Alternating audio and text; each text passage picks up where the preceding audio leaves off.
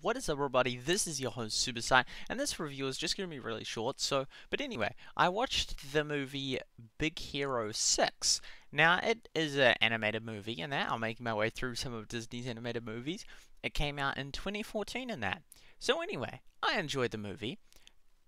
And yeah, it was, uh, it just, it's sort of like, after seeing so many different movies, like Inside Out, Frozen, Zootopia, Ralph Breaks the Internet, and then this, it's like, man, no two movies like they're, they're all different, they're all unique in their own way. It's like it's you can't really compare them in a sense. Like they're just they're so different, they're so abstract and so unique in their own ways and that. So anyway, I enjoyed the movie. It was yeah, I'm just trying to think sort of I don't know, it was sort of just like a very traditional movie vibe. I don't know. Anyway, I liked the I thought it was really cool how they did all the the superpowers and that with the, all the, the unique things and how they had like one of them had the you know all the like the different bubbles that did different stuff and then one of them had the razor blades then one of them had the shield things that went like that. And i thought that was really cool how they, they did use that kind of technology and that. I thought they were cool cool wee powers that they came up with. The and you know the programming of the the big hero i thought that was that was like it was cool just like seeing the do-do-doing upgrades and that and you know, the plot twists and that. I thought I thought it was well done. I thought it was well done. Yeah. It, it, it, the the guy reminded me of the guy from How to Train a Dragon. You know, the same main character in that. It was yeah, I don't know. It was it was a solidly enjoyable movie. I don't really know what to say about it. I don't know why. I don't really know why. It's just it's just sort of like the movie just sort of that that was enjoyable. And that uh, interesting. I did read on the Wikipedia that in South Korea they just called it Big Hero to avoid confusion about people thinking there was a sequel. And I was like, ah, that's good because literally when I went to when I went to watch it, I'm like Big Hero Six. I'm like zero Big Hero Five, Four, Three, Two, or One. I'm like, you know, am I late to the party? Like with Fast and Furious and that. So I, even I was sort of like like thinking, oh, have I missed some of the other ones? I was like, no, no, no, it's that. But yeah, anyway, I thought it was interesting how they've done that.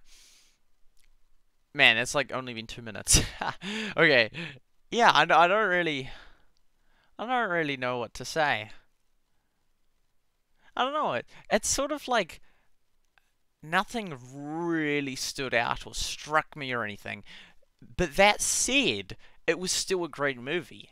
It didn't have to have anything massively like stick out and be super different in that.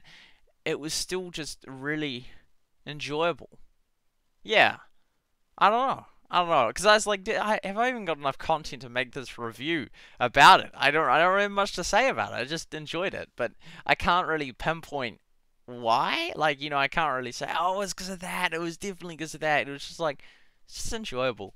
But yeah, anyway, so because there was there's certain ones that I feel like have massive lasting effects more so than other ones, and that. Like for example, there's so much sort of even in you know 20. Uh, another thing interesting that they didn't release the 4K Blu-ray.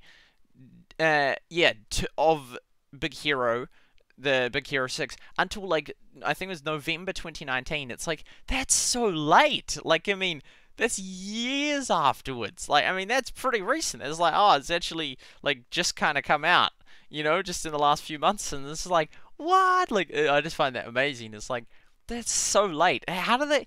Like, is there a reason why they took that long? Like, I don't know. Like they they couldn't really could they re-render it in that?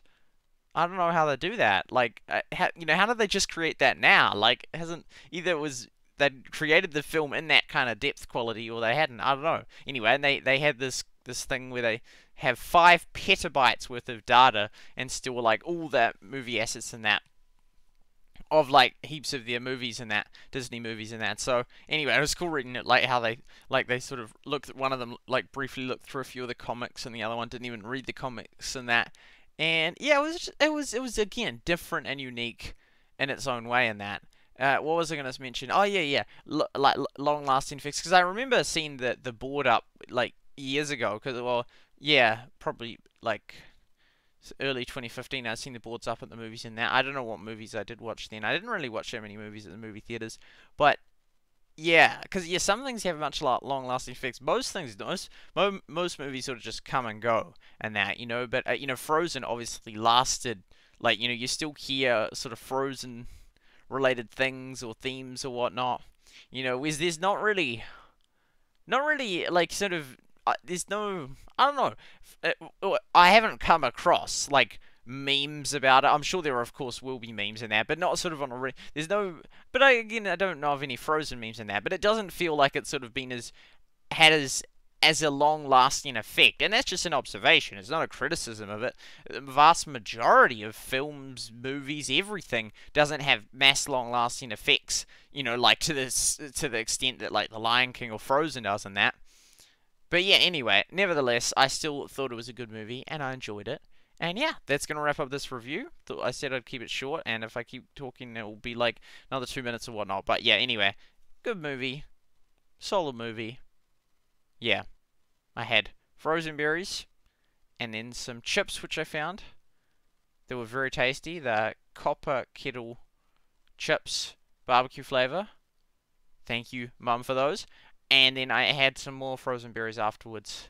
So yeah, anyway, have a wonderful, beautiful rest of your day. Hope you guys enjoyed the video. See you next time. Goodbye for now.